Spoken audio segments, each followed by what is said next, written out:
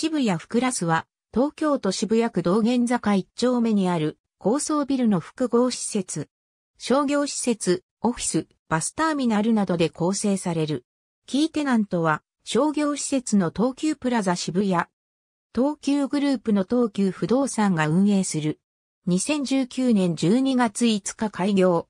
東急プラザ渋谷跡地に道玄坂一丁目駅前地区第一種市街地再開発事業プロジェクトの一環として開業。渋谷駅西口正面にあり、新たに設置された歩行者専用デッキにより、駅直結となった。ビル南側は、国道246号、首都高速3号渋谷線に面する。渋谷府クラスは2015年3月22日をもって閉館し解体された旧東急プラザ渋谷の跡地に建設された。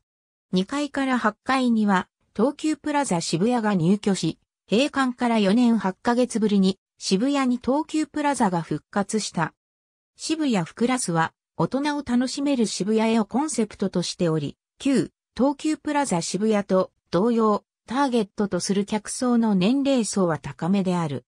フクラスの名称は日本語のフクラスに由来し、渋谷及び渋谷フクラスに訪れるすべての人々の幸福を大きく膨らませていきたいという思いから名付けられた。建築コンセプトは小さな物語の集積。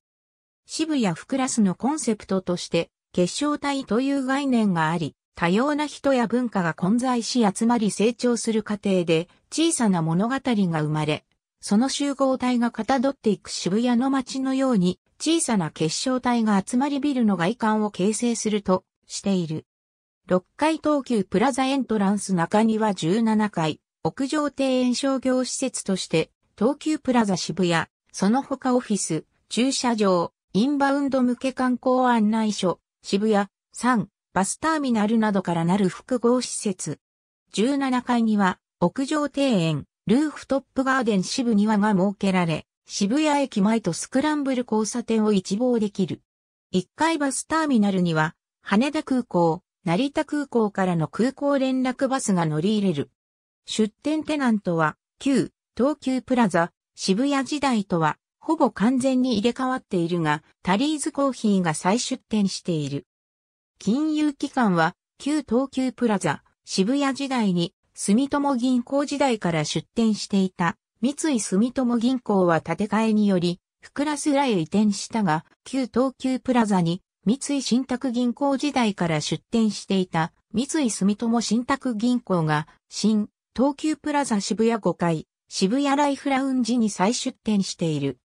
渋谷フクラス全体のフロア構成については公式サイト渋谷フクラスフロアガイド東急プラザ渋谷の店舗については公式サイト東急プラザ渋谷フロアマップを参照。渋谷フクラスのフロア構成は以下の通り。ありがとうございます。